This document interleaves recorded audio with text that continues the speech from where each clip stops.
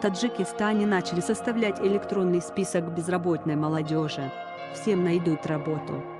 В Таджикистане стартовал пилотный этап электронной программы регистрации безработной молодежи, не имеющей квалификации, и началась регистрация граждан из районов страны, сообщается на сайте Министерства труда, миграции и занятости населения Республики Таджикистан.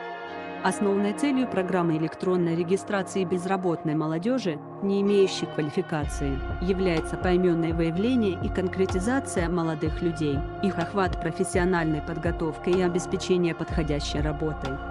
Электронная программа разработана с целью выполнения поручений президента Таджикистана Эмамали Рахмона на встрече с молодежью страны 21 мая 2021 года, согласно плану совместных мероприятий Министерства труда, миграции и занятости населения с Комитетом по делам молодежи и спорта при правительстве Республики Таджикистан.